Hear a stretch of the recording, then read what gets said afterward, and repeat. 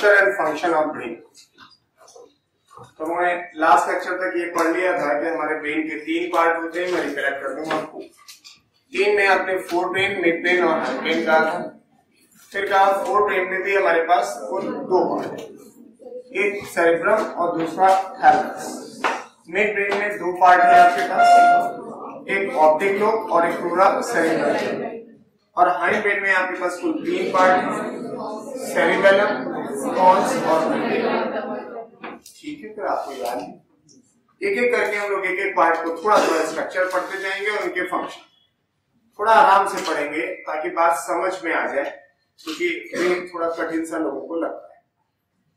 तो पहले हम आपको फोर ब्रेन हेडिंग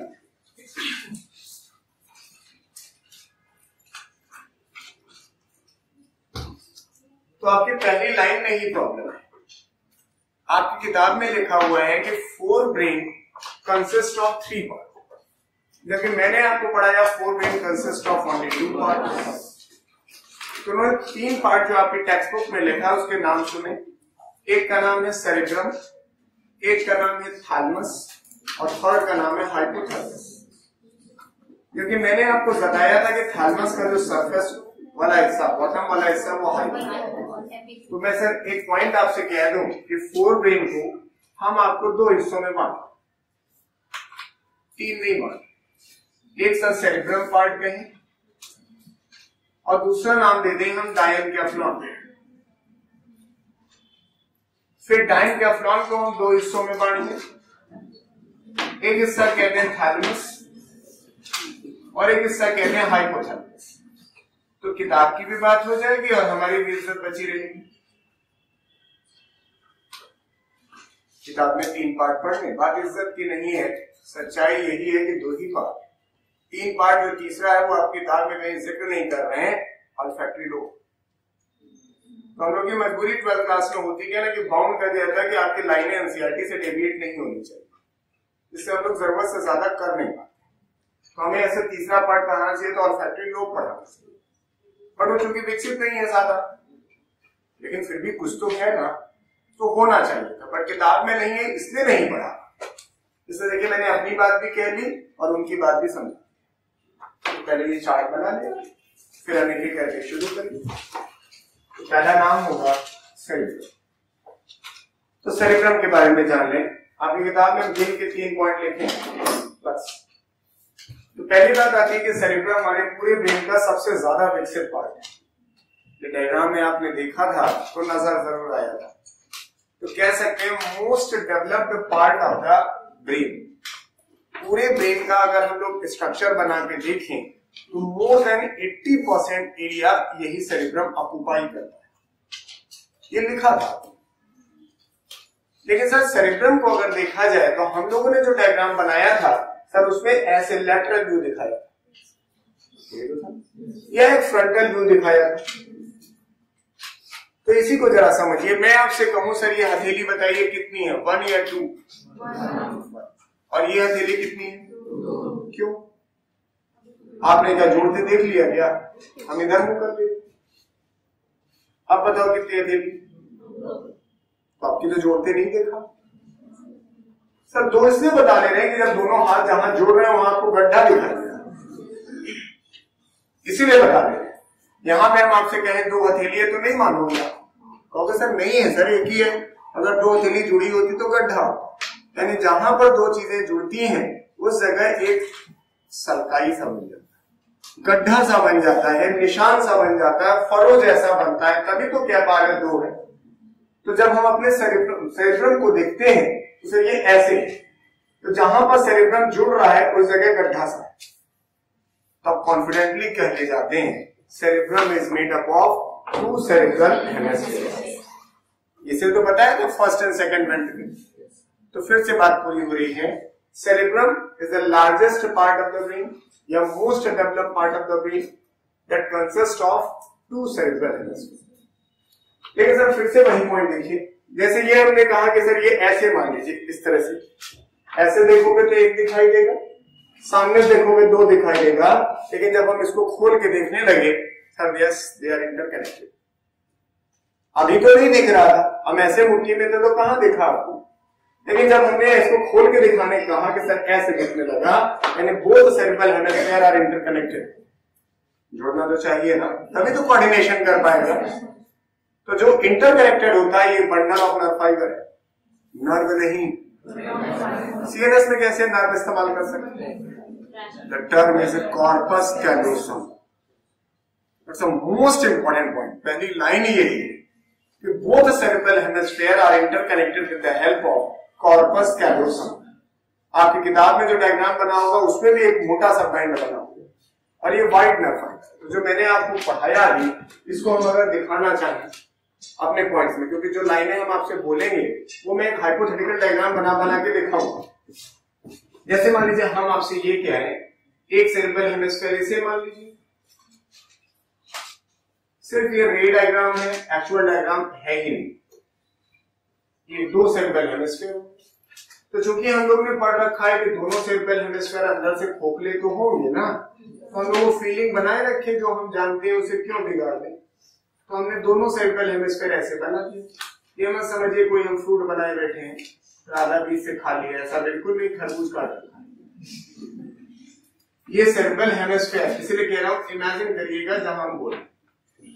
दो सर्कल हेमेस्फेयर है अब इनके अंदर हम अगर कैविटी का जिक्र कर रहे थे एक को हम फर्स्ट कह दें एक को सेकंड कहते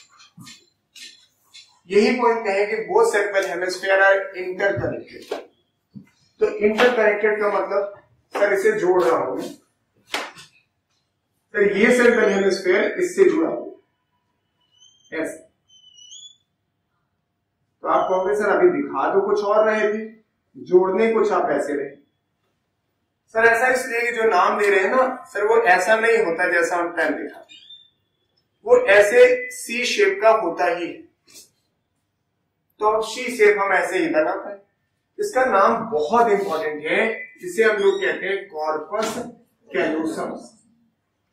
कॉर्पस कैलोसम और ये नर्व फाइबर का बंडल है लेकिन सर ध्यान आपको देना चाहिए it is a white nerve fibre white nerve fibre bundle अब सेंटेंस फिर बोल रहा हूं पूरा cerebrum is the most developed part of the brain made up of two cerebral hemispheres which are interconnected by bundle of white nerve fiber that is corpus callosum clear wo cerebrum heading है उसमें most developed part of the brain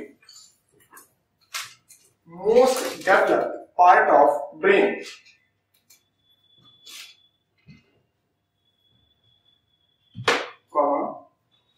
consist of two cerebral hemisphere consist of two cerebral hemisphere which are interconnected by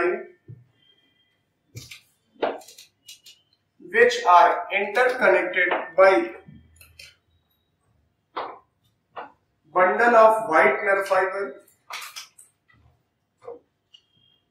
bundle of white nerve fiber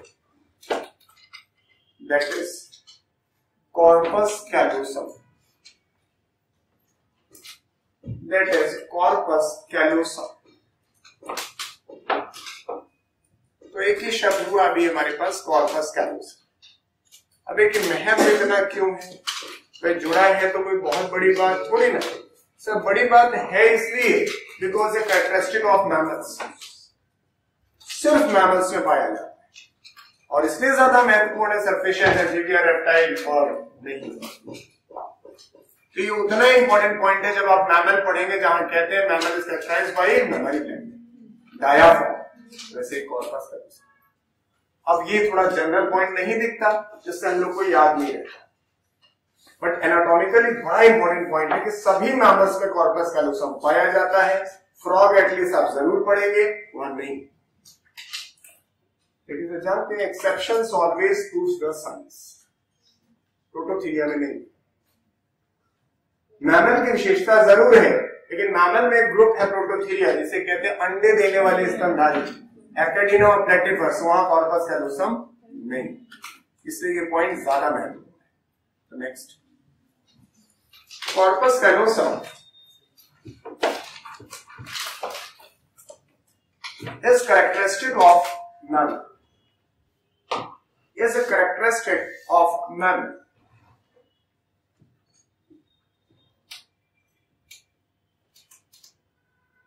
But absent in prototheria. But absent in prototheria. Prototheria जिन्हें ना पता हो वो egg laying mammal समझे या एकेडिना platypus समझे ये उनके एग्जाम्पल अब आप सोच रहे होंगे इनको जोड़ने की जरूरत क्या है कॉन्फ्रेंस कैलोसम को इतना बेहद क्यों देती है तो इस चैप्टर की शुरुआत में बताया गया था कि कोऑर्डिनेशन के लिए जरूरी होता है कम्युनिकेशन इंटरेक्शन और कॉम्प्लीमेंट दो शब्द बोले थे तो सर हमारा लेफ्ट सेंट्रल हेमिस्फेयर और राइट सेंट्रल हेमिस्फेयर आपस में इंटरेक्ट करना चाहिए क्योंकि इंटरेक्ट नहीं करेगा तो प्रॉपर कंट्रोल नहीं हो सकता क्योंकि ये तो पूरे यहाँ कंट्रोल एंड कमांड सिस्टम है ना हमारा हमारे पूरे शरीर को कंट्रोल करेगा तो मान लीजिए लेफ्ट सेरिब्रल हेमिस्फीयर को कमांड दे तो राइट वाले को पता तो रहे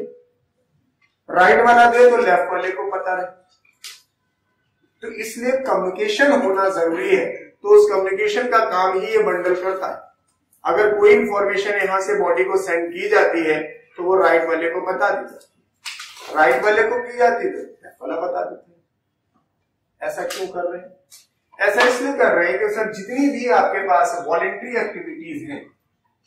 वॉलेंट्री समझते हैं ना और प्लस जितनी आपकी मेंटल एक्टिविटीज हैं all is under control of self जहां आपको लगता हो कि मैंने अपनी इच्छा से काम किया ऐसा लगता हो मैंने सोच समझ के काम किया वो सब सेरेब्रम के हाथ में इट कंट्रोल तभी तो हम कंट्रोल एंड कमांड सिस्टम कह पाएंगे जैसे मैं इस समय इसका इस्तेमाल बहुत ज्यादा करता हूं क्योंकि हम जो भी आपके यहाँ सामने बोल रहे हैं एक्टिविटीज कर रहे हैं ये हम बहुत डिसाइड करके कर रहे हैं क्योंकि मुझे मालूम है स्टूडेंट के सामने कोई गलत शब्द ना निकल जाए कोई गलत वाक्य ना हम बोल जाए पूरा तो वो गलत हो जाएगा तो हम अपने दिमाग का भरपूर इस्तेमाल कर रहे हैं और अपने वॉलेंट्री एक्टिविटीज ही कर रहे हैं हम वो एक्टिविटीज कर रहे हैं जो नॉर्मल हम रूटीन लाइफ में नहीं करते हम इस तरह से दिनचर्या थोड़ी ना बिताते हैं जैसे हम आपसे बोल रहे हैं नॉर्मल जैसी सबकी दिनचर्या होती है वैसी लेकिन यहां पर हम ऑर्गेनाइज तरीके से अपने आप को रिप्रेजेंट कर रहे हैं क्योंकि मैं एक रोल मॉडल की तरह काम कर रहा हूं आपके सामने कि सर ऐसे काम करना चाहिए तभी तो आप सीख पाएंगे तो सर ये हमारी बॉडी की एक्टिविटी है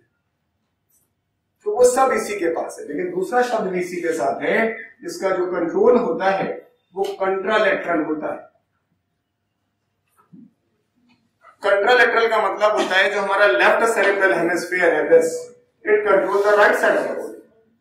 और right cerebral hemisphere left side of body को कंट्रोल करता है अगर हम अपना हाथ ऐसे उठाते हैं that is under control of this hemisphere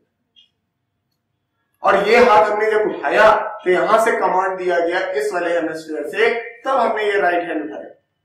लेकिन सर इसकी इंफॉर्मेशन लेफ्ट वाले को हो गई कि भैया वो हाथ उठाए क्योंकि कम्युनिकेशन करना जरूरी और तभी अगर आप देखिए कभी जब हम चलते हैं तो नॉर्मल चलते वक्त हमारे हाथ ऐसे से मूव करते हैं ये नॉर्मल बैलेंस तो सर सोचिए जरा चलते वक्त हमने अपना हाथ पहले ये आगे बढ़ाया तो ये वाला जब हाथ आगे बढ़ा राइट हैंड आगे बढ़ा तो किया किसने होगा लेफ्ट हैंड तो सर राइट हेमिस्फेयर को पता चल जाता है कि वो हाथ आगे है तो ये पीछे रहता है तो पीछे रहो अगर पता ना चले तो ये भी आगे करते दे तो चलते वक्त हम ऐसे सुनने में पता सा लग रहा सोचे कितना ऑर्गेनाइज काम है कि काम ये कर रहा है लेकिन इन्फॉर्मेशन को दे देता है कि भैया देख मैंने हाथ आगे बढ़ाया है अब ये हाथ को पीछे रखना है वॉलेंट्री एक्टिविटी फिर जब ये पीछे जाता होगा तो इसको इन्फॉर्मेशन दोनों को मिल जाती है कि सर ये पीछे गया होगा और यही आप हाथ में भी होगा पाओ में भी तो ये होगा ये पैर आगे बढ़ता है तो ये पैर रुका रहता है फिर ये जब उठता है तो ये रुका रहता है उठ के आगे चला जाता है दोनों एक साथ उठ गए तो नहीं कर सकते काम यही कोऑर्डिनेशन है तो जो कॉर्पस कैलोसम आप पढ़ रहे हैं ये दोनों हेमोस्फेयर को कोऑर्डिनेट करते रहते हैं तो इस तरह का सवाल मैनुपलेट कर देते हैं लोग कि अगर मान लीजिए लेफ्ट सेरिब्रल हेमोस्फेयर में आपको डैमेज हो जाए हेड इंजरी हो जाए किसी प्रकार की तो सर पैरालिसिस के चांसेस राइट साइड में एंड वाइस वर्सा इसको उल्टा करके वे पूछते हैं एक व्यक्ति है जिसको राइट साइड का हेमिप्लेजिया हेमिप्लेजिया का मतलब आदि पैरालिसिस तो अगर राइट साइड का पैरालिसिस है तो which of the following side of the cerebrum usually affected वो सब इसी के सवाल है control cerebrum controls all voluntary and mental activities of the body. All voluntary and mental activities of the body.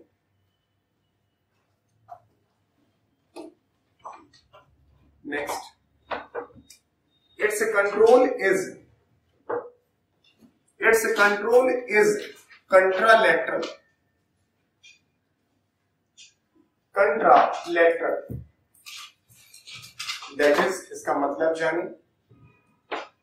left cerebral hemisphere left cerebral hemisphere controls right side of the body right side of the body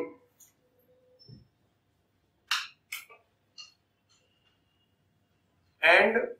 vice versa vice versa का मतलब दिमाग लगा के समझ के पढ़िए right side right side of उससे point जोड़ लेंगे अब एक और बात देखिए जैसे हम लोग कह रहे हैं कि हमारे पास दो सेरेब्रल हेमिस्फीयर है लेकिन सामान्य व्यक्ति में अगर आप देखें तो उसका लेफ्ट सेरेब्रल हेमिस्फीयर ज्यादा विकसित होता है सर पैदा होते वक्त ऐसा नहीं होता लेकिन जैसे जैसे हमारा डेवलपमेंट होता जाता है तो हमारा लेफ्ट सेंट्रल हेमोस्फेयर राइट की तुलना में ज्यादा विकसित होता है इसलिए हमारा राइट साइड वाला हिस्सा ज्यादा विकसित होता चला जाता है और स्ट्रेंथ पावर राइट साइड से ज्यादा लगती है मोस्टली द राइट क्योंकि हमारा लेफ्ट सेंट्रल हेमोस्फेयर विकसित ज्यादा लेकिन अगर कोई बच्चा ऐसा क्लास में बैठा है जो लेफ्ट हैंडेड है तो सर उसका राइट सेंट्रल हेमस्फेयर विकसित हुआ होगा तभी वो लेफ्ट हैंड उसके मम्मी पापा ने प्रयास किया होगा कि हम इसको राइट हैंडेड कर दें लेकिन सर जैसे पापा मुड़े होंगे फिर वो अपने लेफ्ट साइड में आ गए जब माँ बाप ने देख लिया कि सर इधर से वो कुछ नहीं अफोर्ड कर पाता है इधर से कर रहा है और स्मूथली कर रहा है ये बीमारी नहीं है क्योंकि बीमारी होती तो डिस ईज होना चाहिए और उसको कोई डिस ईज नहीं है नॉर्मल लेफ्ट साइड से दिख रहा है बस ये कि बगल वाला बच्चा जो बैठा होता है क्लास में उसको थोड़ी दिक्कत होती है आप लड़का है महसूस किया होगा कि अगर आप लेफ्ट हैंडर हैं और बगल में राइट हैंडर है तो हाथ दोनों का पासवार लगता है क्या थोड़ा होना चाहिए लेकिन वो डिजीज नहीं है आप थोड़ा अगर दूरी बैठे तो कोई दिक्कत नहीं जिससे जो बच्चा क्लास में जरूर होगा दो तीन बच्चे बड़ा कॉमन भी हो गया तो सर ये उनके एक प्रकार की डेवलपमेंटल चेंज है इसको बीमारी नहीं कही जाती इस कंडीशन को मैंसेनिज्म कहते हैं लेकिन ये आपके मतलब का नहीं सिर्फ यह जताना था कि हमारे यहां दोनों सैंपल हेमस्फेयर एक बराबर विकसित नहीं होते next point generally left cerebral hemisphere left cerebral hemisphere is more developed is more developed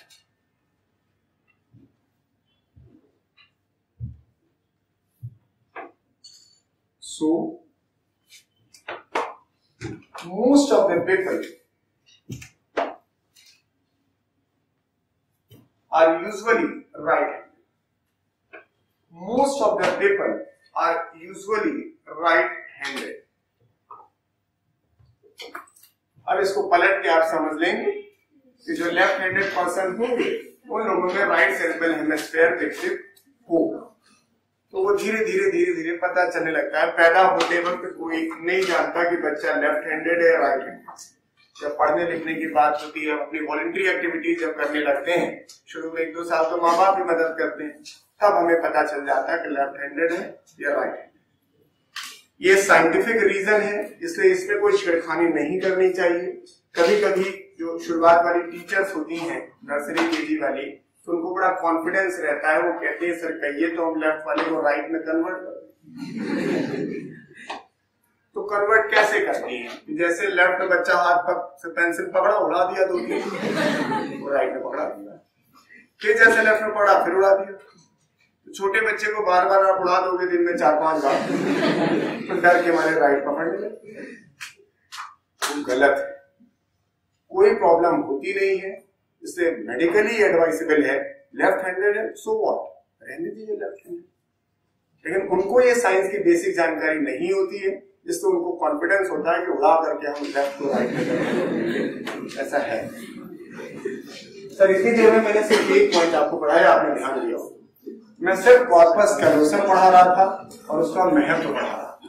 क्योंकि अगर कॉर्पस कैलोसम नहीं होता तो शायद ये वॉलंटरी जो मेंटल एक्टिविटीज आप कर पा रहे हैं कोऑर्डिनेटेड मैनर में नहीं करते इतना ऑर्गेनाइज तरीके से जो हम अपनी बॉडी एक्टिविटीज कर लेते हैं वॉलेंट्री वो सर दोनों लेफ्ट एंड राइट साइड को मिला के वो इसी की वजह से अब दूसरा शब्द देखिए जो हम लोगों ने ये पढ़ा कि हर सेरेब्रल हेमिस्फीयर के अंदर एक वेंट्रिकल होगा तो फर्स्ट और सेकेंड वेंट्रिकल अगर आप देखें तो सर इनके फ्लोर पर एक बंडल ऑफ नर्फाइज रखा है यानी फ्लोर ऑफ ईच पैरासिल खाली पैरासिल कही तो इस जगह पर एक बंडल ऑफ फाइबर है और उसका नाम चाहते हैं उसका नाम है कार्पोरा स्टेटा स्ट्रेटा सिंगुलर होता तो स्टेटम कह देते सेंटेंस तो फिर से है a bundle of nerve fibre is present at the floor of each paracoel sir इसका काम जान लें तो इनका काम तो कम्युनिकेशन था दोनों का it is responsible for instinctive behaviour instinctive behaviour instinctive behaviour का मतलब जन्मजात लक्षण बहुत सारे ऐसे हमारे बिहेवियर होते हैं जिनके लिए हमको ट्रेनिंग की जरूरत नहीं पड़ती हम सीखे सिखाए होते सबसे सरल एग्जाम्पल है सपलिंग जब बच्चा पैदा होता है आंख कई बार नहीं खुली होती है माँ जैसे ही निप्टल को उसके मुंह में लगाती है और वो मुंह से सफल करना शुरू कर देता है किसने ट्रेनिंग दी आपको तो ये तो आप सीख कर आए हैं ये इंस्टिंक्टिव बिहेवियर है जन्मजात लक्षण समझ पाए मेरे एग्जाम्पल हमारे आंखें नहीं खुली होती कई बार चिपकी सी रहती हैं फिर भी कोलेस्ट्रम के चक्कर में जल्द से जल्द माँ अपने छाती को लगाती है उससे और तुरंत हम सकल करना शुरू कर देते हैं ये नहीं कहते भैया बाबू इधर देखो ऐसे ऐसे सकलिंग की जाती है ऐसा कोई नहीं कहता तुरंत जैसे ही निप्पल में ड्रॉप मुंह में आई नहीं हम धीरे धीरे मुंह चलाना शुरू किया दूसरा एक बड़ा इंटरेस्टिंग एग्जाम्पल है जिसमें कई लोग सहमत नहीं होते कोर्टशिप कोर्टशिप कहलाता है कि अपने अपोजिट सेक्सुअल पार्टनर को सब प्रपोज करना फॉर सेक्सुअल हर मेंबर में हर स्पीसीज में जहां सेक्सुअल रिलेशन है वहां पर हम हमेशा अपने अपोजिट सेक्सुअल पार्टनर को प्रपोज करते हैं ताकि हम एक सेक्सुअल एक्टिविटी को कर सकें इसी को नाम देते हैं लोग कोशिश इसे हम लोग हिंदी में अगर कहें तो थोड़ा कठिन हो जाएगा इसे कहते हैं प्रणय निवेदन प्रणय का मतलब यही होता है कि proposal for the sexual relation तो इसको कोई नहीं सिखाता हूं लगेगा ऐसा क्यों नहीं हम लोग सब सीखते हैं सब पैदा होते हैं तो हम ये जानते ही नहीं है सेक्स को ही नहीं समझते लेकिन जैसे जैसे बड़े होने लगते हैं तो हमें एहसास हो जाता है गर्ल एंड बॉय और फिर पिक्चरें देखते हैं हीरो हीरोइन होते हैं उसमें कहानियां पढ़ते हैं तो फोटो देखते हैं तो धीरे धीरे हम समझ जाते हैं कि एक फिनोमेना है तो हम उन्होंने सीखा तो भाई चलो आपने सीखा है कुत्तों ने कौन सी पिक्चर देखी देखी कोई पिक्चर अच्छा चूहे ने देखी कोई पिक्चर फिर आप कहोगे नहीं कुत्ता देख लेता होगा बीसीआर में चलती होगी तो किराए बैठती चूहा कैसे देख लेता होगा नहीं देखता अगर मान ले सर नहीं तो चूहा भी छुप के देख लेता होगा तो सर आस्ट्रा में पिथेकस ने कौन से पिक्चर सर ये जो एक्टिविटी की हम बात कर रहे हैं ये तो तब से हो रही है जब से सर धरती पर सेक्सुअल रिलेशन शुरू हुआ तो क्या किसी ने ट्रेनिंग दी आपको नहीं ये हमारा एक इंस्टिंक्टिव बिहेवियर अब बचपन में हमारे ऐसे नहीं होता कि सर वो हार्मोन नहीं होते हमारे अंदर जब हम बड़े होते हैं तो हमारे अंदर हार्मोन्स आते हैं तब तो हमारा सेक्स के प्रति अट्रैक्शन बढ़ता है सर वो ये भी एक इंस्टिंक्टिव है ऐसे बहुत सारे बिहेवियर होते हैं और हम कई बार उन बिहेवियर्स को नजरअंदाज कर देते हैं जैसे बिहेवियर हम आपको और बताएं ये लड़कियों के लिए है लेकिन वो लिखी नहीं साइंस का मानना है लड़कियों के अंदर एक इंस्टिंक्टिव बिहेवियर होता है वो बड़ी आसानी से पहचान लेती है कि सामने वाला जो व्यक्ति है उसका इंटेंशन क्या है वो उसके बारे में अच्छी सोच रखता है या बुरी सोच रखता है ये इनके अंदर एक इंस्टिंक्टिव बिहेवियर होता है अब इस बिहेवियर को ये हाइड करके रखती है या यूज करती हैं तो लड़की को पता चल जाता है कि जो सामने व्यक्ति या मेल है वो क्या सोचता है तो इसलिए बहुत सारे लड़कियों को अगर इतना सा भी हिंट मिल जाता है कि सामने वाला व्यक्ति हमारे बारे में गलत भावनाएं रखता है तो वो दूर है और जो अपने इंस्टिंक्टिव बिहेवियर का इस्तेमाल नहीं करती है वो एक कदम आगे बढ़ जाती है और उसके साथ कभी कभी कुछ बुरा भी हो जाता है ये स्टेटमेंट हमें लड़की ने ही बताया उसने कहा सर इस चीज को आप अगर कहें कि किसी भी इस प्रकार की सामाजिक कुरीति के लिए सिर्फ बॉय जिम्मेदार है ऐसा नहीं है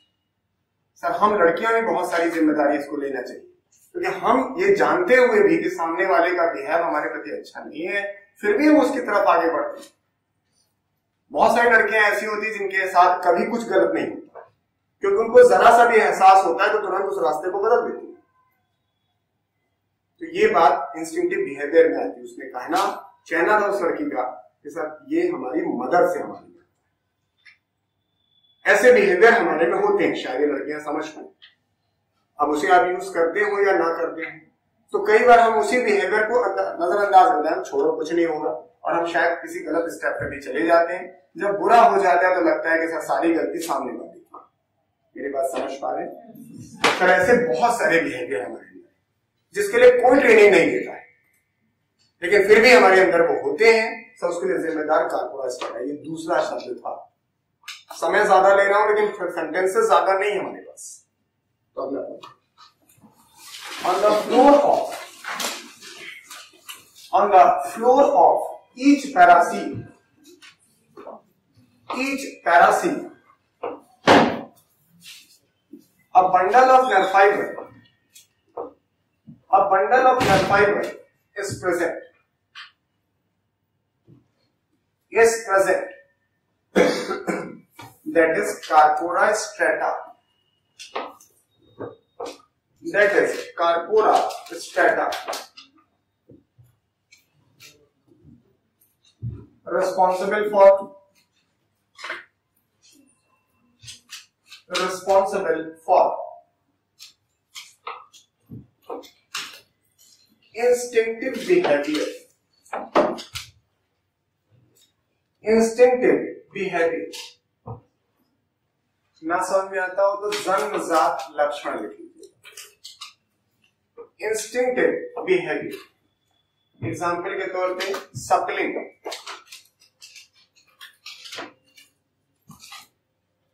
दूसरा एग्जाम्पल कोर्टशिप कोर्टशिप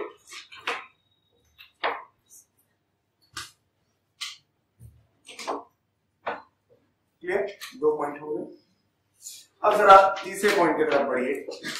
जैसे जो हम सेरेब्रल हेमिस्फेयर आपको दिखाएं तो ऐसे दिखाएं ये मान लीजिए हमारा सेरेब्रल हेमिस्फेयर है और पूरा प्रकृति तो दिख जाएगा तो जो सेरेब्रल हेमिस्फेयर में पेरिफेरल पार्ट है गौर करें जो पेरिफेरल पार्ट है इस वाले हिस्से को नाम देते हैं सेरेब्रल कॉर्टेक्स हमेशा देते रहे बॉडी में तो खूब देते हैं जैसे आपने सेक्शन काटा होगा सबसे पहले कॉर्टेक्स पढ़ा बीच में बैठना पड़ता है कभी ऐसा पड़ा कॉन्टेक्स बीच में कर नहीं कॉन्टेक्स का मतलब ही है पेरिफेरल रीजन तो यही कहने जा रहे हैं the peripheral part of the cerebral hemisphere is known as cerebral cortex तो ये जहां मैं अपना हाथ रख रहा हूं ये सेरिब्रल कॉर्टेक्स लेकिन सेरिब्रल कॉर्टेक्स की सरफेस ये है सरफेस सरफेस ऐसी नहीं होती जैसा हम आपको अभी बताते हैं सरफेस जरा देखिएगा कैसी होती लाइक दिस ऐसे the surface of central cortex is highly convoluted convoluted का मतलब था घुमाव प्रॉक्सिमल कॉन्वोल्यूटेड तो इसी तरह तो ये जो घुमाव में आपके कई सारे गड्ढे बन रहे हैं इनको नाम देते हैं सरकाई और जो उभार बन रहे हैं इनको हम नाम देते हैं गाइडर फिर से सेंटेंस बोल रहा हूं the peripheral region of the cerebral hemisphere is known as cerebral cortex तो मैं नाम दे दू सर यहां से लेकर यहां तक का हिस्सा ये सेरिब्रल कॉर्टेक्स कहला है यही आप कह रहे हैं कि सर सेरिब्रल हेमिस्फेयर में जो सबसे पेरीफेरी की तरफ है तो उसी को नाम दे रहे हैं सेरिब्रल कॉर्टेक्स फिर कह रहा हूं surface of cerebral cortex is highly convoluted due to sulci and गाइडा sulci से गड्ढा एंड गाइडाई ही तो सर अगर सरकारी गहराई आप देख पाएंगे सर इस तरह से होता होगा तो हमारी जो रूफ है इसकी वो तो एकदम नए तरीके के रूफ गए और इसको हम लोग नाम देते हैं नियोपेलियम नियो का मतलब नया और पेलियम का मतलब होता है रूफ नई छत बन गई जैसे हमारे हॉल की छत है एक सीधी लेकिन इसमें हम अगर ऐसे ऐसे डिजाइन करवा दें तो कहोगे बड़े नए डिजाइन की छत बनवाए हो रूटीन छत तो ऐसी होती है ना सब जगह चाहे हॉल हो चाहे कमरा हो लेकिन हम ऐसे ऐसे अगर कॉन्वोल्यूशन करा दें छत में भले छत हमारे नीचे आ जाए उठे जाए लेकिन आप देखोगे तो कहोगे बहुत डिजाइनदार बनवाए नए टाइप से बनवाए तो बन गए नहीं अब सेंटेंस पूरा बोल रहा हूं फिर से the peripheral region of the cerebral cortex is known sorry sorry, cerebral is of the cerebral cortex. Its surface is highly convoluted due to presence of sulci and gyri and form neoplasm. फिर एक point और आपके पास होगा कि अगर आप brain पढ़ रहे हैं तो ब्रेन में पेरीफेरी की तरफ ग्रे मैटर याद आया कुछ ग्रीन है फाइबर नॉन मेटर तो जो पेरीफेरल पॉइंट जिसको आपने कॉटेक्स कहा है तो आप यहां हमारी मदद कर सकते हैं कि सर यहां पर ग्रे मैटर यू क्योंकि पेरिफेरल पार्ट को ही तो आपने सेरेब्रल कॉर्टेक्स कहा है तो इस जगह पर ढेर सारा आपके पास ग्रे मैटर तो इसका मतलब ये जो कन्वोल्यूशन आपने किया उससे सरफेस एरिया ही तो बड़ा होगा तो ग्रे मैटर ज्यादा एकोमोलेट आप कर ले जाएंगे इस जगह ये पूरे पेरिफेरल पार्ट में ग्रे मैटर ज्यादा से ज्यादा और सेंटर वाले हिस्से में तो आपने लिखा था कि ब्रेन में व्हाइट मैटर होता है ये सेंटर वाला पार्ट था फिर स्पाइन कॉर्ड में बदल जाता स्पाइन कॉर्ड में कहा था ग्रे मैटर बीच में आ जाता और व्हाइट मैटर था अब सेंटेंस मेरा पूरा हो गया फिर बोल रहा हूं फिर लिखो किसी भी सेरिब्रल हेमेस्फेयर को आप देखें तो उसका जो पेरिफेरल पार्ट है बाहर वाला पार्ट है उसे हम सेरिब्रल कॉर्टेक्स फिर कह रहे हैं सेरिब्रल कॉर्टेक्स की जो सरफेस होती है वो काफी ज्यादा घुमावदार होती है जिसमें बहुत सारे सरकारी यानी गड्ढे उभार यानी गहराई पाए जाते हैं जिससे नई प्रकार की छत नजर आने लगती है डर से नहीं होते which increases the surface area कभी ऐसे बनाया होगा तो सर्फेस एरिया बढ़ाया होगा अरे बिलाई याद और ये हम जानते हैं कि सेरिब्रल हेमिस्फेयर में पेरीफेरी पर ग्रे मैटर होता है तो इस कॉन्वोल्यूशन का फायदा क्या हुआ accommodate large amount of grey matter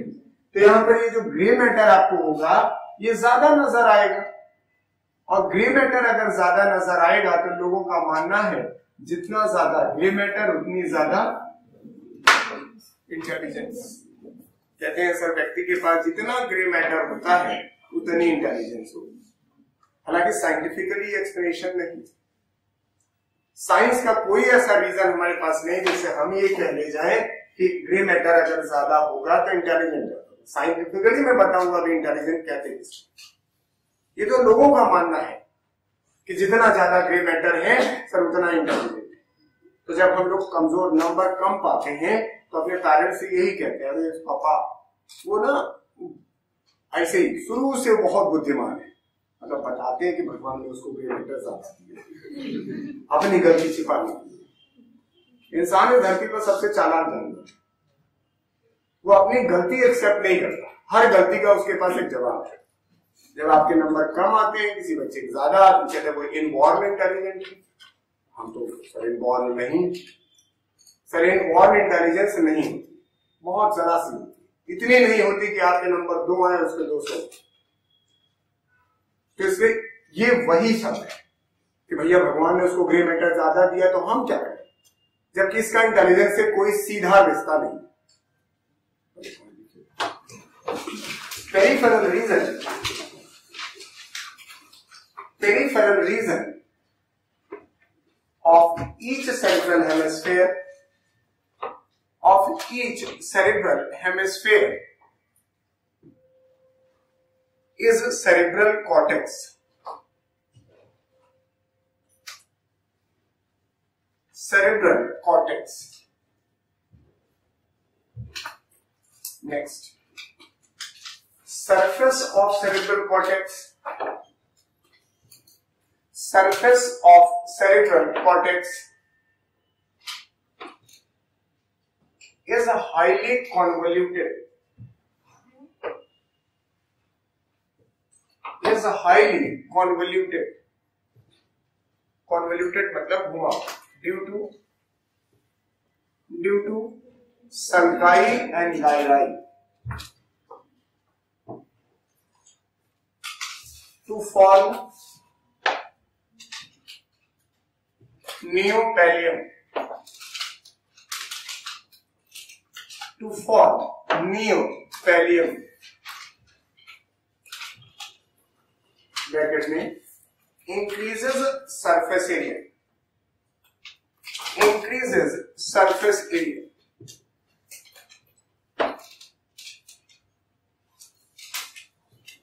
Next cerebral cortex accommodate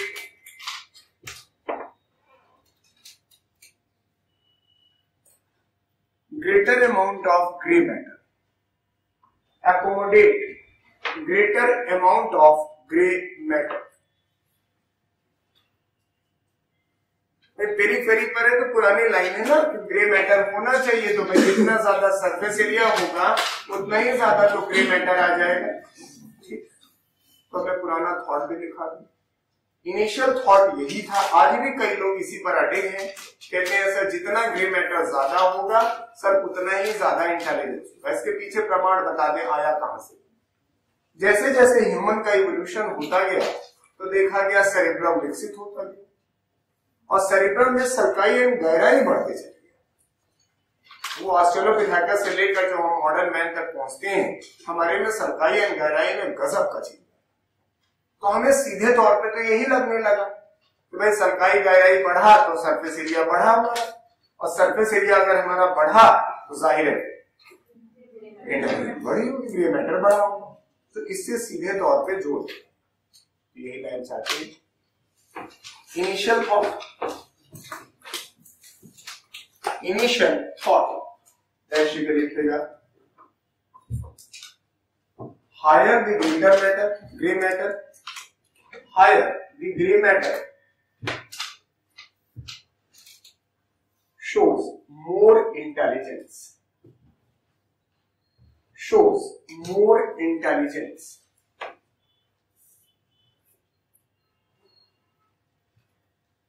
तो ये तो बात पुरानी हो गई खैर इस सेंटेंस में कोई प्रॉब्लम ये तीसरा सेंटेंस था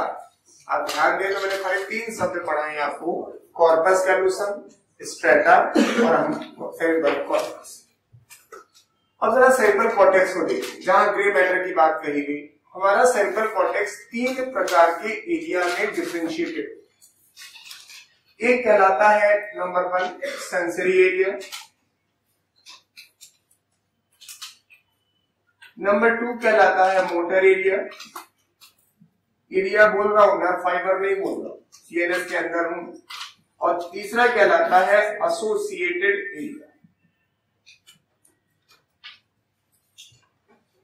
हम इसको फंक्शनिंग के आधार पे सेंट्रल कॉन्टेक्स को तीन हिस्सों में बांट सकते एक कहलाएगा सेंसरी एरिया एक कहलाएगा एसोसिएटेड एरिया और एक कहलाएगा मोटर एरिया जब हम पैदा होते हैं तो हमारे पास एसोसिएटेड एरिया तकरीबन निल होता मतलब ज्यादा डेवलप ही नहीं होता लेकिन जैसे जैसे हम बड़े होते चले जाते हैं हमारे पास एसोसिएटेड एरिया जो है वो विकसित होगी तो शुरू में हमारे पास सिर्फ सेंसरी और मोटर एरिया ही होता है जितने भी पेरिफेरल ऑर्गन्स हैं जो भी आपके शरीर में आगे हैं इन जगह से जो सेंसरी इंफॉर्मेशन है वो सर सेंसरी एरिया तक पहुंचाई sensory area receive the sensory information from the peripheral और मोटर एरिया ये मोटर इंपल्सेस जनरेट करता है फॉर द डिफरेंट ऑर्गन सवाल आता है एसोसिएट एरिया को धीरे धीरे धीरे यही विकसित होता चला है तो ये सेंसरी नहीं होता सेंसरी तो सिर्फ उसे कहते हैं जो सेंसरी इंफॉर्मेशन रिसीव करता हो मोटर भी नहीं होता क्योंकि जनरेट भी नहीं करता इसका काम क्या होता है कि जो सेंसरी एरिया में इंफॉर्मेशन पहुंची वो जब यहां रिसीव करता है तो उसे इंटरप्रेट करता है इंटरप्रेट समझते हैं निष्कर्ष निकालना नतीजा निकालना जो सेंसरी इंफॉर्मेशन आती है उस सेंसरी इंफॉर्मेशन को इंटरप्रेट करता है और यही इंटरप्रिटेशन इंटेलिजेंस इसी को आप इंटेलिजेंस तो पैदा होते वक्त आप इंटेलिजेंट कहा होंगे फिर धीरे धीरे धीरे धीरे आपके ब्रेन का विकास होता है तो उसे आप कहते हैं सर हमारा बच्चा इंटेलिजेंट हुआ सर किसी को हुआ कि आज बर्थडे आज ही पैदा हुआ और शाम को पता चला कि आप बहुत इंटेलिजेंट हैं ऐसे कर, ऐसा कौन सा कारनामा आप कर देंगे कि सुबह पैदा हुए शाम तक आप इंटेलिजेंट घोषित हो जाएंगे हाँ लेकिन जब पांच साल सात साल दस साल पंद्रह साल पच्चीस साल तीस साल कोई एज आती है जहां पर आप साबित करते हैं आई एम क्वालिटी तो वो इसकी वजह से इंटरप्रिटेशन अब आप सोचोगे इंटरप्रिटेशन आखिर करते कैसे होंगे तो इंटरप्रिटेशन के पीछे कई चीजें जिम्मेदार जो कुछ मेन चीजें हैं उनका नाम बता दे रहे हैं जो इंटरप्रिटेशन करते हैं दैट डिपेंड्स ऑन एक्सपीरियंसेस जो हमारे पिछले अनुभव होते हैं उस अनुभव पर हम इंटरप्रेट करते हैं फिर उन अनुभव में से जितने अनुभव आपको याद होते हैं सर उन पर आप इंटरप्रेट करते हैं और फिर तीसरा एक फैक्टर होता है will power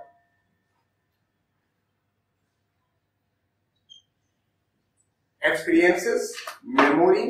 will power और भी कई फैक्टर है बट आपके ट्वेल्थ में तीन की बात इन्हीं तीन चीजों पर आधारित हम इंटरप्रिटेशन करते हैं और जैसा हम इंटरप्रिटेशन करते हैं सर उसी के अनुसार हम मोटर इम्पल्सेस जनरेट करते हैं हम अपने रिस्पॉन्स वैसे ही शो करते हैं जैसा हम इंटरप्रेट करते हैं हम सड़क पे आपको मिल जाएंगे तो आप पहचान जाओगे इंटरप्रेट भी कर लोगे कि हमारे सर तो तुरंत रिस्पॉन्स भी करोगे आप हाय हेलो विश किसी भी तरह करोगे लेकिन सड़क पे चलता हुआ दूसरा अजनबी व्यक्ति आपके सामने पड़ता है तो आप क्या पहचान लेते हो तो इंटरप्रेट ही नहीं कर पाते कौन है बस ये पहचान जाते हो जैसे मैन या वेमेन लेकिन आपके रिलेशन का कोई इंटरप्रिटेशन तो होता नहीं तो क्या उनको भी हाय हेलो करते चलते हो नहीं करते तो इंटरप्रिटेशन पर ही तो आपका रिस्पॉन्स आया जब आपने मुझे पहचान लिया तभी तो हाय हेलो कहा जब नहीं पहचानेंगे तब भी हाय हेलो कह देंगे नहीं कहते फिर से आपको सुनिए सेरिब्रल कॉर्टेक्स का जो एरिया है उस एरिया को हम तीन हिस्सों में बांट रहे हैं सेंसरी एरिया ये वो एरिया होता है जो सेंसरी इंफॉर्मेशन को रिसीव कर सिर्फ रिसीव कर मोटर एरिया जो मोटर इंपल्स डिफरेंट ऑर्गन को जनरेट कर लेकिन एसोसिएटेड एरिया वो एरिया होता है जो ना तो सेंसरी होता है ना मोटर होता है बड़ा एरिया होता है It is the area of interpretation या intelligence that is because of experiences, memory and will. मैं बड़ा सरल एग्जांपल दू एक्सपीरियंस का मतलब समझते हैं ना यानी वो चीज आपके साथ पहले हो चुकी वही तो अनुभव होता है भाई देख के होता अनुभव सुन के होता है या फिर हमारे साथ वो घटित होता है तभी तो हम लोग कहते हैं अपने मम्मी पापा से हम संपर्क में रहते हैं तो कई सारे वो अपनी लाइफ के अनुभव हमें बताते हैं तो हमें अनुभव ही तो देते हैं अगर हम उनके फेस ज्यादा करते हैं तो हम उसे एक्सेप्ट कर लेते हैं तो सोचता अरे छोड़ो हम अपना हम देखेंगे आपके जमाने में ऐसा होता तो एक्सपीरियंसेस का मतलब जिनके आप गो थ्रू हो चुके हो वही अनुभव है आपका इतनी बड़ी लाइफ में आपने बारह पंद्रह सोलह साल जो भी आपकी एज है इसमें कुछ तो अनुभव किया होगा सामाजिक जीवन को देखकर ठीक अब मान लीजिए मैंने एक सवाल आपको दिया फिजिक्स वाला सवाल है ना वही वाला दे दे तो वो सवाल अगर आप मुझे दे दीजिए तो हम उसको देखेंगे फिर कहोगे सर करो फिर देखते फिर दे दें हम कर ले कुछ नहीं कर सकते तो आप कहोगे नहीं सर करो हम बताते हैं हम कहेंगे तुम ही बताओ तब हम करें क्योंकि हमें सवाल ही नहीं समझ में आएगा क्योंकि I have not experiences for physics या है तो मेरी मेमोरी में नहीं क्योंकि तो पच्चीस साल हो गए फिजिक्स पढ़े पच्चीस का अट्ठाईस साल हो गए फिजिक्स पढ़े इंटर के बाद तो पढ़े तो सर इतने सालों में हमारे जो वो अनुभव थे हमने रिपीट तो किए नहीं क्योंकि अनुभव को अगर आप रिपीट ना करो तो मेमोरी लॉस हो जाती है और वो अनुभव अगर आप रिपीट करते रहो तो वो मेमोरी में बना रहता है तो मैं वो सवाल देखूंगा मैं शुरू ही नहीं कर तो इंटरप्रेट नहीं कर पाऊंगा तो मोटर रिस्पॉन्स करूंगा नहीं तो हमारे क्विज के सर थे जब हम लोग उनसे सवाल पूछने जाते थे तो कहते थे हम बताएंगे ऐसा कैसे हो सकता आप हमारे गुरु जी हो बताओ क्यों कहते हम बताएंगे लेकिन आप सवाल करिए जहां फंसोगे वहां बताएंगे तो गुरु जी समझ में आए तब तो करें तो कहते थे ऐसा कैसे हो सकता समझ में आए और हमने भी उनसे कहा सर पहले ये समझ लिया ऐसा भी वो कहते थे कि सर ऐसा कैसे हो सकता है समझ में ना आए हम कहते हैं हो सकता है अगर ऐसा सवाल आपके सामने रख दिया जाए जिस तरह का सवाल आपने कभी किया ही ना हो क्या सारी फिजिक्स पढ़ ली नहीं तो सर अगर एक कठिन सा सवाल जिसको आप सो कॉल अपनी बहुत कठिन मान वो लाके हम आप सामने रख देते शुरू करो तो शुरू कर लो नहीं कर सकते because you have not experienced about that. Clear? तो जब तक आपके पास इंटरप्रिटेशन नहीं होगा आप मोटर रिस्पॉन्स कर ही नहीं सकते अगर आपने गलत इंटरप्रेट कर लिया सो मोटर रिस्पॉन्स गलत होगा और आंसर गलत हो जाएगा सही इंटरप्रेट कर लिया तो मोटर रिस्पॉन्स सही होगा और आंसर सही हो जाएगा समझ रहे और इसका मतलब सबसे ज्यादा इन्हीं दो चीजों पर डिपेंड एक्सपीरियंसेस और मेमोरी और एक्सपीरियंसेस आते हैं रिलीजन से तो इंटेलिजेंस समझ में आते जो सारी आपकी काबिलियत है वो सिर्फ रिलीजन में है कोई माँ के पेट से कुछ सीख के नहीं आता है सब हम यहीं पर अनुभव करते हैं और उसे हम बार बार रिपीट करते हैं तो हमारी जबान पे हमारी मेमोरी में तुरंत रहता है क्वेश्चन आते हैं हम तुरंत आंसर कर देते हैं लेकिन पढ़े हुए अगर आठ महीना हो गया तो याद ही नहीं आता कि पढ़ाया था कि नहीं पढ़ाया ऐसा भी हो जाता है कई ऐसे शब्द हैं जिसको आपने पढ़ने के बाद दोबारा रिपीट ना किया हो और मैं क्लास में अगर उसे दोबारा रिपीट करता हूं तो शायद कई बार ऐसा लगता होगा कि ये कब पढ़ाया तो इसलिए बार बार कहा जाता है सारी इंटेलिजेंस आपकी यहीं पर है और कहीं है ही नहीं इसलिए सब लोग कहते हैं इंटेलिजेंस ओवरनाइट होती ही नहीं कभी रात भर में आपको इंटेलिजेंट हो जाए ऐसा नहीं हो सकता जो बच्चा क्लास में इंटेलिजेंट ज्यादा नजर आ रहा है क्वेश्चन देखते ही तुरंत आपके सामने सॉल्व कर देता है या टीचर भी है तो आपका टीचर आपके सामने ज्ञानी क्यों बन जाता है because of more experience about such type of question जो सवाल आप मुझसे पूछने आते हैं उस तरह के सवाल का अनुभव हमारे सामने से कई बार हो चुका होता है मेमोरी हमारे रहता है तुरंत मैं इंटरप्रेट कर लेता हूं और तुरंत आपको बता देता हूं तो आप समझते हो सर जी बड़ा बुद्धिमान सो सारी बुद्धिमान इसी में खाली जोगी पे तो बुद्धिमान हूं फिजिक्स रख दो ना तो कहा हमारी बुद्धि चली जाएगी नहीं फिर तो गया बहुत बेवकूफ है तो हम अपने सब्जेक्ट के एक्सपीरियंसेस की बात करें तो हम इंटेलिजेंट लेकिन अन्य सब्जेक्ट के प्रति इंटेलिजेंट नहीं इसलिए intelligence is nothing but only experiences and memory for उस चीज के लिए जो आप काम करना चाहते हैं जितना ज्यादा आपका एक्सपीरियंस होगा जितनी आपकी मेमोरी में बना रहेगा सर वही आपकी इंटेलिजेंस कहलाएगी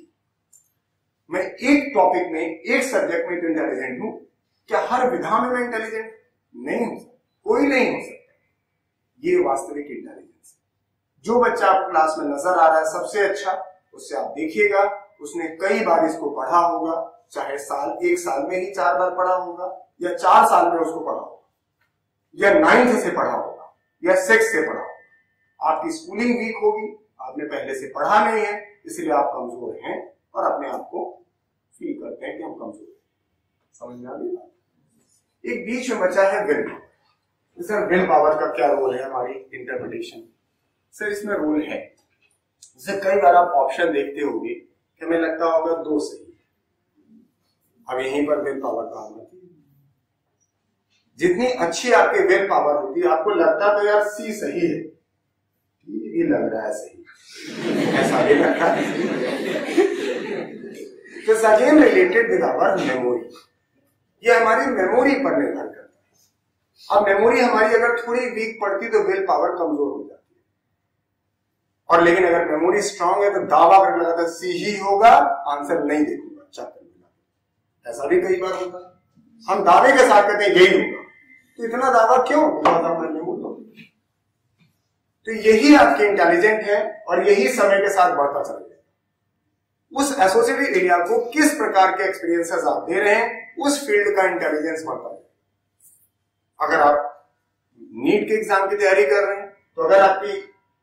नीट के रेफरेंस में इसको डेवलप कर रहे हैं तो उसके अनुभव बढ़ाएंगे जेई की तैयारी कर रहे हैं तो जेई के रेफरेंस में इसे एक्सपीरियंस दीजिए आप अगर उसमें दुनिया भर की और चीजें अनुभव में देते चले जा रहे तो उसका कोई रोल नहीं है इसीलिए आपकी इंटेलिजेंस कमजोर हो जाती है क्लास में कोई बच्चा कमजोर नहीं है उसका अनुभव नीट के प्रति कमजोर है पढ़ कम रहा है तो वो वीक नजर आ रहा है किसी और फील्ड में बात करिए देखिए बहुत इंटेलिजेंट नजर आ is divided into three area cerebral is divided into three area number one sensory area sensory area इसमें receive sensory impulses receive sensory impulses from different organ number two motor area motor area generate motor impulses generate motor impulses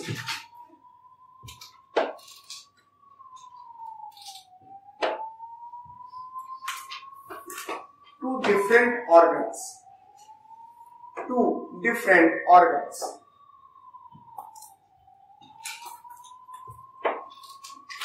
next associated area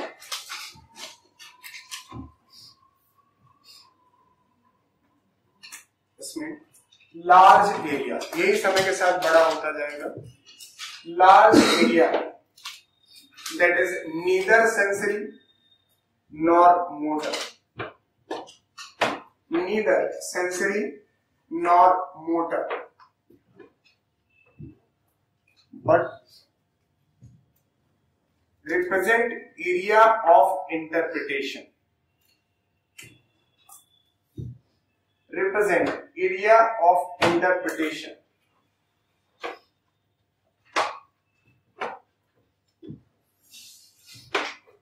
Next, it represents intelligence. It represents intelligence.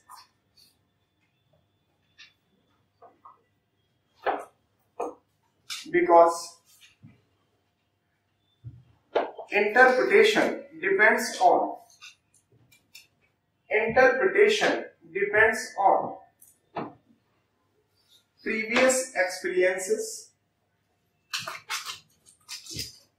previous experiences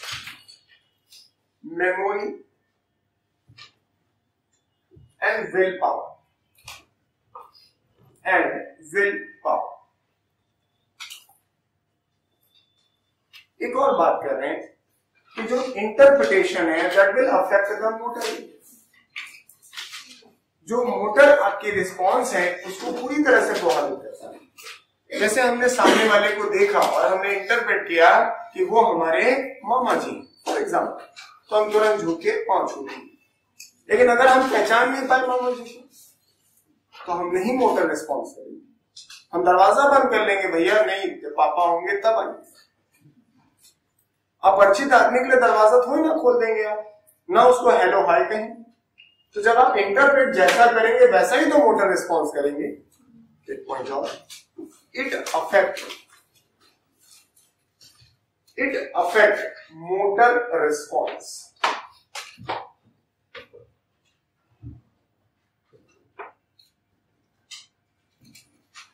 clear हो गया तो ये हमारा अगला point था कि जो तीन हिस्सों में बटा था एसोसिएट एरिया समय के साथ विकसित होता जाएगा जिस प्रकार के एक्सपीरियंसेस आपके होंगे उसके करस्पॉन्डिंग एसोसिएट एरिया विकसित हो जाएगा उसी प्रकार के संशय इंफॉर्मेशन जब आएगी आपके पास तो आसानी से आप इंटरप्रेट कर लेंगे जल्दी इंटरप्रेट कर लेंगे और मोटर रिस्पॉन्स बेहतर होगा towards accuracy very good Arjun इसके आगे अगर हम पढ़े तो हम ये जो एरिया है आपके सर्कल हेमिस्फेयर में शो करना चाहिए तो मैं इधर शो करूंगा तो अगर मैं आपके सेरिब्रल हेमेस्फेयर को शो करूं मैं पहली बार अब आपको सेरिब्रल हेमेस्फेयर सही बनाता हूं अभी तक तो मैं खाली हाइपोथेटिकल बना रहा था तो देखिएगा जो हमारा सेरिब्रल हेमेस्फेयर है सर वैसा नहीं है जैसा हमने आपको यहां बनाया सर cerebral hemisphere देखा consider तो ये चार लूप में बटा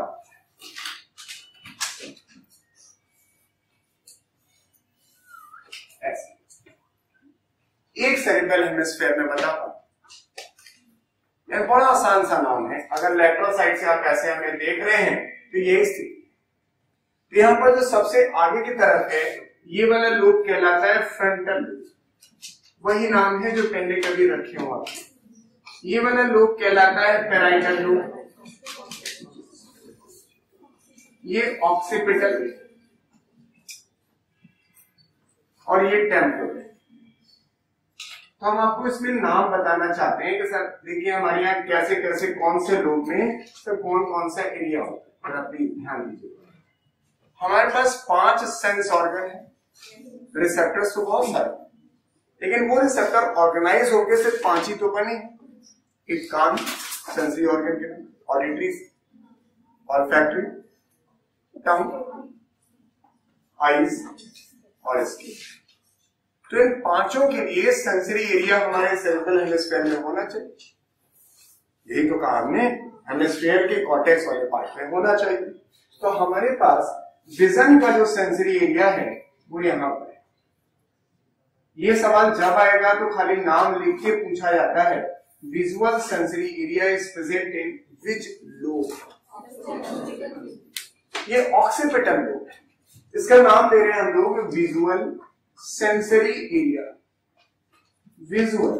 sensory area इसका मतलब समझ पा रहे हैं जो आई जैसे यहां से इंपल्सेस जो होती हैं वो हमारे ऑक्सीपिटल लोब में जाती है फिर इसी के बगल में जस्ट जो विजुअल सेंसरी एरिया है इसी के बगल में विजुअल एसोसिएटेड एरिया होता है एसोसिएटेड एरिया वो इंटरप्रेट करता है पहचानता है अपने अनुभव से हम उन्हीं को तो पहचान सकते हैं जिसको हमने पहले से देखा और याद हो एक बार देखा दोबारा कभी नहीं मिले कई महीनों के सालों के बाद जब हमारे सामने वो व्यक्ति आता है तो हम नहीं पहचान पाते लेकिन अगर हमने उसको कई बार देखा है तुरंत पहचान जाते जैसे मान लीजिए कोई बच्चा आया जुलाई में और उनसे एक दिन पढ़ा और उसके बाद चल तो शायद वो मुझे भूल गया होगा मेरा चल क्योंकि अब आठ महीने से उसने देखा ही नहीं लेकिन चूंकि आप तब से लेकर लगातार रोज रिवीजन ही तो कर रहे हैं आप इस चेहरे का रिवीजन इतना ज्यादा आप कर चुके हैं दो दो घंटे रिवीजन किया सर आप भूलेगा नहीं जैसे ही ये चेहरा थोड़ा बदल के भी आपके सामने आएगा दस साल बाद तो बहुत बदल जाएगा but you're able to recognise क्योंकि जैसे ही हमारी फोटो यहाँ पहुंचेगी और बगल में यहाँ जाएगा तो सर हम पहले दूसरे तीसरे पन्ने पर हैं तुरंत पहचान जाओगे ये हमारे सर है लेकिन अगर आपने एक बार देखा है छह महीने के पहले तो शायद ना पहचान पाओ ये इंटरप्रिटेशन ये तो वन की बात है टेस्ट वाला ऐसे ये सेंसरी टेस्ट एरिया कहलाता है सेंसरी टेस्ट एरिया अब मैं इसका एसोसिएटेड एरिया नहीं बनाऊंगा इसी के बगल में होता है हर सेंसरी एरिया के पीछे बगल में उसका जस्ट एसोसिएटेड एरिया तो जिस स्वाद को आपने पहले चखा होगा सिर्फ वही स्वाद आप बता सकते हैं और जो पहली बार खा रहे होंगे तो थोड़ा मीठा लग रहा थोड़ा खट्टा भी यानी कैसा फेमिलियर नहीं होगा जब आप वही स्वाद चार छह बार चख लोगे तो जान जाओगे इसका स्वाद ऐसा ये इंटरप्रिटेशन सर एक और बड़ा इंटरेस्टिंग शब्द है ऑडिटरी ये देखिए टेम्पोरल लोग ये पैराइटल है खाली लोग पूछा जाता है सेंसिलियर और यही बगल में हम आपको एक और इसमें ये जो बड़ा वाला बना रखा है इसका नाम क्या लाता है ऑडिटरी सेंसरी और जो इसी में देखिए थोड़ा गहराई में होता है थोड़ा अंदर पहुंचाया है इसको हम लोग कहते हैं और फैक्ट्री सेंसिटिव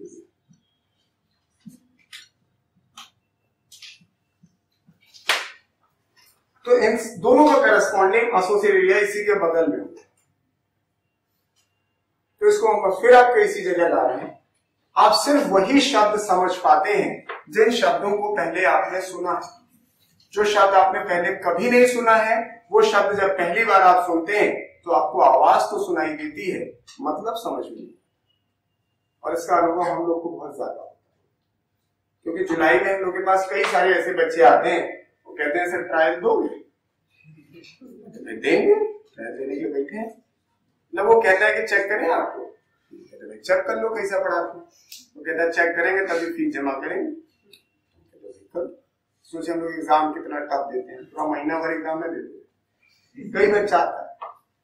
अब हम उससे कई बार पूछते क्या एक दिन में तुम हमें चेक कर लोगे कहता सर आपको कहा चेक कर पाएंगे हम खाली ये देखेंगे कि जो आप पढ़ाते हैं जिस तरह से वो हमको समझ में आता है कि नहीं कई पेरेंट्स बड़े लालायित होते हैं कि ऐसा तो नहीं कौन फारसी बोल जाओ हम कहते हैं भाई जिस भाषा में हम बात कर रहे हैं यही भाषा हम बोले तो कहते हैं नहीं सर दो तीन दिन अलाउ करिए इसको तो मजबूरी है कर देते हैं तो वो आगे बैठ जाता है अब देखिए परीक्षा शुरू हुई तो हम अपना नेचर थोड़ी ना बदल लेंगे हम जब आपको पढ़ाते हैं तो ज्यादातर तो हिंदी ही बोलते हैं लेकिन जो टर्म्स आते हैं वो इंग्लिश में बोलते हैं और दो चार हमारे अल्फाज उर्दू हैं हमारी आदत है अब मान लीजिए हमने बोल दिया मुखातिब अब वो लड़का पहले से जानता नहीं है सोचेगा पता नहीं क्या बोलेगी पूरी लाइन समझ में आएगी मुखातिब समझ में नहीं अब इसे समझ में नहीं आया फिर हमने पढ़ाते पढ़ाते बोला एसिमिलेशन इंग्लिश में कोई शब्द बोले अब एसिमिलेशन उसने नहीं सुन रखा तो उसे लगेगा तो कुछ बोला ही होगा लेकिन पता नहीं क्या बोला रेलवे स्टेशन में सिमुलेशन आप साफ सुन भी नहीं पाते एकदम सच्चाई समझिए क्या स्थिति होती तो वो जब बाहर निकलता है कहता है सर पूरा समझ में नहीं आता पता नहीं क्यों पढ़ाते और उसके माँ बाप कहते हैं ठीक नहीं टीचर चलो निकल तो चले जाते कोई अपने बच्चे की गलती नहीं देता है भाई बोल चाल में जैसा हमारी आदत में दो चार उर्दू के शब्द हैं सबकी आदत में कुछ अलग अलग शब्द होते हैं तो वो अब बदल कैसे ले लूंगा अब मान लीजिए किसी ने मुख गोहिका पढ़ रखा है माउथ के लिए कई हिंदी वाले बच्चे आते हैं लोगों के पास इसको इसोफेगस को ग्रेनडी कहते हैं वो पढ़ रखा है स्टमक को अमाशय इसको छोटी आंख बड़ी आंख पैंक्रियाज को अग्नाशय और जैसे ही पहली क्लास वही सब होती है तो हमने बोला man the food is put in the mouth cavity it passes in the pharynx and reaches to the oesophagus and finally reaches to the stomach अब उसको लगा यानी पता नहीं कब वो क्या इंतजार कर रहा है कि सर कहे कि सर खाने को हम मुख गुहिका में रखते हैं तो मुख गुहिका से सर इसको पता नहीं क्या कहते हैं फिर वो वहां से होता हुआ ग्रहणी में जाता है ग्रहणी से अमाशय में जाके संचय हो जाता है अब वो इसका वेट कर रहा क्योंकि उसने वो शब्द सुन रखे तो वही समझेगा हमने जो शब्द बोले वो इंटरप्रेट नहीं कर पाया समझेगा बदनाम कौन है टीचर सही नहीं पढ़ाते क्योंकि माँ बाप का लड़का हमारा लड़का अट्ठानबे तो परसेंट नंबर पाया है तो ये कैसे खराब हो सकता है तो ये डिफरेंस है हम सिर्फ उन्हीं शब्दों को समझ सकते हैं जिन शब्दों को हमने पहले सुना लेकिन अगर आप डटे रहे कि हमें यहीं बैठे रहना तो धीरे धीरे मुखातिब भी समझ में आएगा एसिमिलेशन भी आएगा और पैंक्रियाज भी आएगा कईयों के साथ शुरू में परेशानी हुई होगी आपको हमारी भाषा को लेकर लेकिन धीरे धीरे आप एंजॉय करने लगते हैं चीजें बड़ी आराम तो सर वही चीजें हम करेंगे हम आपसे चाइनीज अगर सामने आके बोलने लगे तो क्या आप इंटरप्रेट कर लोगे आवाज सुनाई तो देगी बस तो हम बार बार क्या कह रहे हैं कि sir if you have an experience then you are a better interpret अगर एक्सपीरियंस नहीं है तो इंटरप्रेट नहीं कर सकते तो ऐसे सब जगह है हम सूंघने की बात करें जिस परफ्यूम को जिन लोगों का परफ्यूम का बड़ा अनुभव होता है वो सूंघ के तुरंत रहते हैं कि वाला परफ्यूम है और हमें परफ्यूम का कोई अनुभव तो हमें खाली ये पता चलता है महक रहा है कि नहीं महक क्योंकि हम डिफ्रेंशिएट ही नहीं कर सकते कि आप जैनब फिरदौस लगाए हो कि क्यों क्यों जैसमिन लगाए हो तो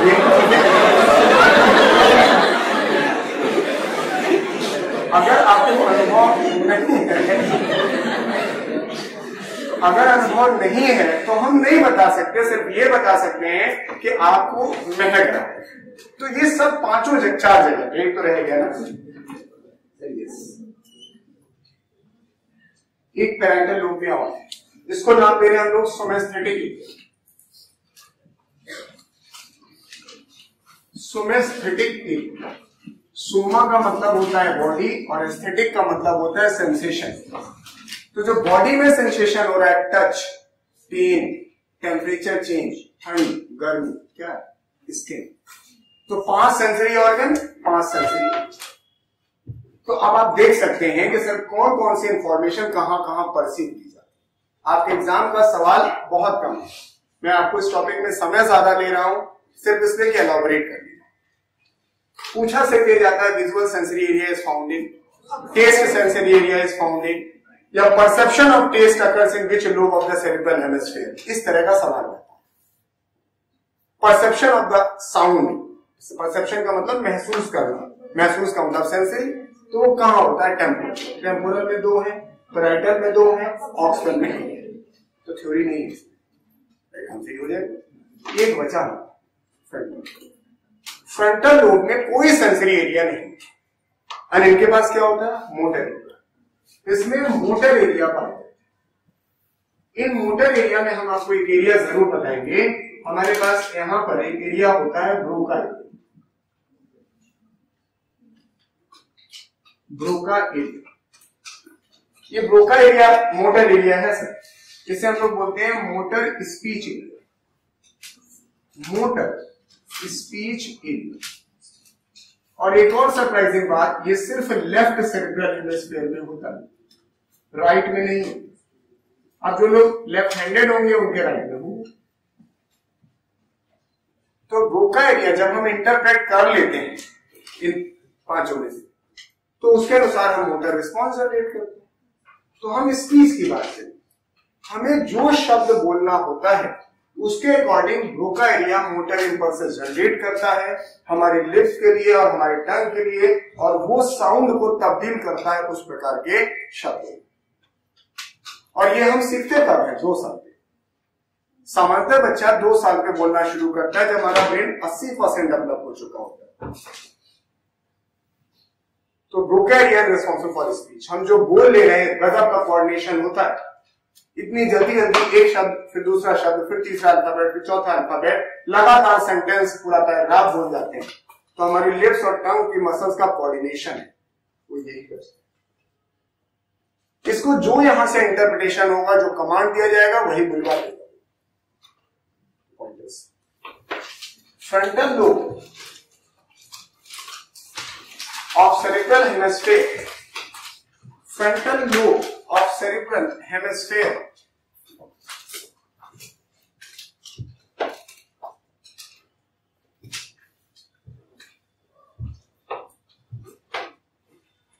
has motor equal.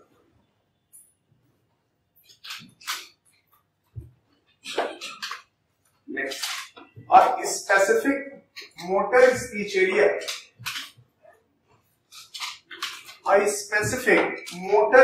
speech area is present in the left cerebral hemisphere. In the left cerebral hemisphere that is Broca's area. That is Broca's area.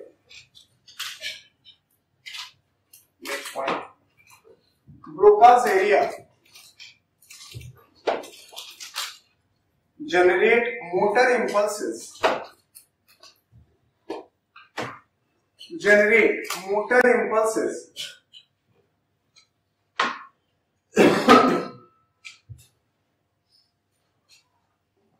For muscles of lips and tongue.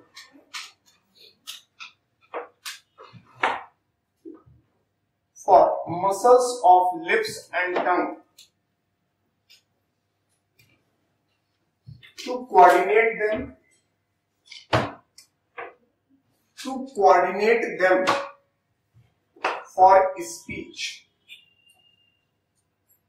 to coordinate them for speech हम जो वो शब्द आपके सामने बोल रहे हैं वो चयन हमने पहले कर लिया होता क्योंकि मैं इंटरप्रेट कर रहा हूं कि मैं इस समय क्लास में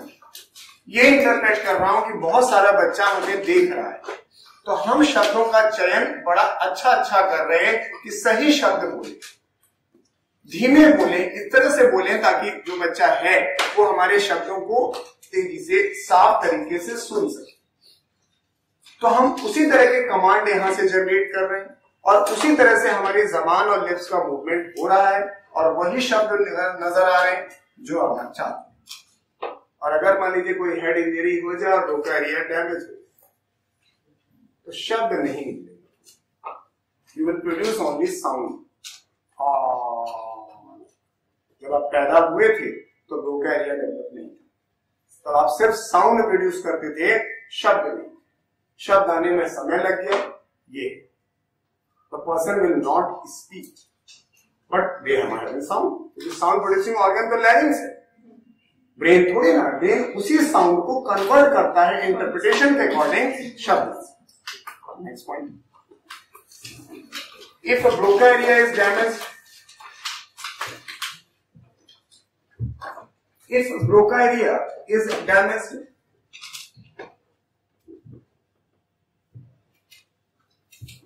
person is not able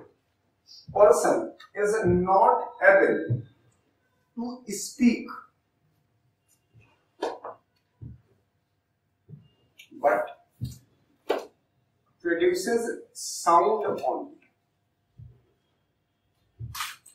but produces sound only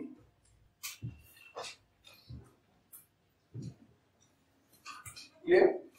मैं आपको पॉइंट रिपीट कर दूं जितना मैंने आपको सेरेब्रम में पढ़ाया देखिएगा ध्यान से बहुत थोड़े पॉइंट है मुश्किल से पांच पॉइंट होंगे अच्छे होंगे पहले आपसे कहा कि हमारा जो सेरेब्रम है पूरे ब्रेन का सबसे ज्यादा विकसित पार्ट है दो सेंट्रल हेमेस्फेयर से मिलकर बना है left and right which are interconnected with each other by the bundle of white nerve fibre the term is known as corpus callosum corpus callosum का काम होता है दोनों के बीच में कोऑर्डिनेशन बनाया जाना कॉर्पस कैलोसम मैमल की विशेषता है लेकिन सर प्रोटोथिलिया में नहीं सेरेब्रम हमारे शरीर की सारी वॉलेंट्री एक्टिविटीज और मेंटल एक्टिविटीज को कंट्रोल करता है लेकिन इसका कंट्रोल कंट्रालेक्ट्रल है right cerebral hemisphere left side की बॉडी को लेफ्ट वाला राइट साइड की बॉडी को कंट्रोल करता है लेकिन आपस में कोऑर्डिनेट भी करता है तभी हम कोऑर्डिनेटेड मैनर में कोई वॉलेंट्री एक्टिविटीज करते हैं फिर पैरासिल की फ्लोर पर अगर आप देखें तो एक बंडल ऑफ फाइबर है कार्बोस्टाटा जो हमारे जंग जात लक्षणों के लिए जिम्मेदार है फिर हम इधर आ गए किसी भी सेरेब्रल हेमिस्फेयर को देखें उसका जो पेरिफेरल पार्ट है उसे हम सेरेब्रल कॉर्टेक्स कहते हैं उसकी सरफेस में बहुत सारे घुमाव होंगे गड्ढे को संकाई कहते हैं उभार को गाइगाई कहते हैं जिससे सरफेस एरिया काफी बढ़ गया एंड फॉर्म द न्यूटाइटिस चूंकि हमारे सेंट्रल हेमिस्फेयर या कहिए ब्रेन में पेरीफेरी पर ग्रे मैटर होता है इससे सेरेब्रल कॉर्टेक्स का अगर सरफेस एरिया ज्यादा होगा तो ग्रे मैटर ज्यादा होगा ऐसा लोगों का मानना है कि जितना ज्यादा ग्रे मैटर होगा उतना ही ज्यादा इंटेलिजेंस होगा लेकिन हम अपने सेरेब्रल कॉर्टेक्स को तीन हिस्सों में डिफ्रेंशिएट कर सकते हैं सेंसरी मोटर थोड़ा सेंसरी सिर्फ इंफॉर्मेशन कलेक्ट करता है मोटर सिर्फ इंफॉर्मेशन जनरेट करता है लेकिन ये जो मोटर रिस्पॉन्स है ये डिपेंड करता है एसोसिएट एरिया के इंटरप्रिटेशन ये ना तो सेंसरी है ना मोटर है बल्कि एरिया ऑफ इंटरप्रिटेशन है जिसे हम वास्तव में इंटेलिजेंस कहते हैं that interpret on the behalf of experiences memory and the will sir जैसा आप यहां पर इंटरप्रिटेशन करेंगे वैसा ही हम मोटर रिस्पॉन्स करते हैं हमारे पांच सेंसरी ऑर्गन के लिए हमारे सेरिब्रल हेमिस्फीयर में सर अलग अलग रूप में अलग अलग सेंसरी एरिया है विजुअल पीछे है पेराइटल वाले लोब में दो है सोमेस्थेटिक यानी स्किन प्लस टेस्ट और टेम्पोरल में भी दो है ऑडिटरी और ऑल्फेक्टरी इन सब का करस्पॉन्डिंग एसोसिएटेड एरिया उन्हीं के बगल में होता है हमने सब जगह लिखा नहीं नहीं तो फिर ज्यादा लर्निंग फ्रंटल लोब में कोई सेंसरी एरिया नहीं होता उसमें सिर्फ मोटर एरिया होता है एक स्पेसिफिक मोटर एरिया का नाम दिया Broca area motor speech area जो सामर्थ्य लेफ्ट हेमेस्फेयर में पाया जाता वही डेवलप था आपका लेकिन सर जो लेफ्ट हैंडेड होंगे उसमें राइट सर इसका काम होता है हमारे टंग और लिप्स की जो मसल्स हैं उनके बीच में कोऑर्डिनेशन करना अकॉर्डिंग टू इंटरप्रिटेशन और एक शब्द प्रोड्यूस करना यही डैमेज हो जाएगा तो आप बोल नहीं पाओगे आवाज जरूर that's all about your self